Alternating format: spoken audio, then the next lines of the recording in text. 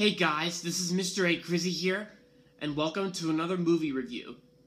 Today, I'm going to be doing a movie review on, a, on this movie from 1994 that stars Jim Carrey and Cameron Diaz, which I just got done watching on my computer, and that is The Mask. Now, the plot of this is basically where you got this guy named Stanley, played by Jim Carrey, who works at a business company, and then it's like he discovers this mask in like in like the water, and then it's like and like when he when he puts it on, it's like it, he has these powers to like yeah, it turns him into a cartoon character, and his face turns green, of course. Yeah, and of course you also got those funny moments, of course, like of, with, with him, of course. Yep. So that's, so that's pretty much all I can talk about the plot. So what do I think of it? I thought this was an awesome movie. I thought it was awesome and hilarious. There were some hilarious moments, like I said and and I thought the computer animated effects, I thought that was really cool. Yep. Jim Carrey does a fantastic job as Stanley in this movie. And the, and the, and this movie, The Mask, is also known to be Cameron Diaz's first film she starred in. So Cameron Diaz does a does a great job in, in her first film, The Mask. Yeah.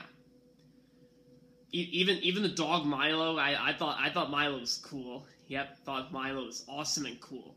Yep because and, and when I when I first saw this movie, I saw some clips. I saw some clips from this movie on on the movie clips YouTube channel. I saw some clips from this movie, and then and then and then and now I and now and now I've seen the whole entire movie. Yep, and I just got done watching it today on my computer. So now I've seen the whole entire movie. So now my, my personal opinion on The Mask is it's an awesome and hilarious movie. Yep. Yeah, but but and then I also heard that, that, they were planning to make a sequel to The Mask called like The Mask Two with Jim Carrey returning, but then, but then but then it's like we got that horrible that one of the worst movies ever made, Son of the Mask.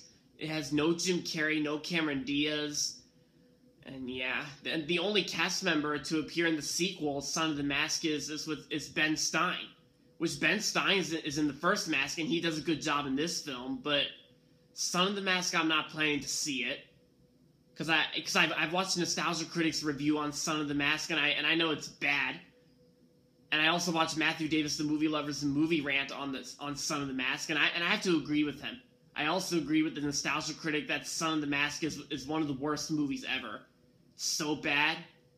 Yeah, I, I'm just I'm just gonna stick with with this film. I might I might as well just stick with this film with Jim Carrey and Cameron Diaz. I'm gonna stick with the first Mask. Because I'd rather watch this than Son of the Mask. Yep. But yeah, guys, so overall, The Mask, I'll give Mask a 5 out of 5. Yep, 5 out of 5 stars. If you've not seen The Mask, I definitely recommend it. It's great, it's hilarious, it's awesome. Yeah. So yeah, guys, that's my movie review on, on The Mask. So, hope you guys enjoyed this video, and if you're not subscribed yet, don't forget to subscribe if you haven't yet and make sure to like this video. Alright guys, so that's going to be it for this video, so goodbye everybody, and that's about it.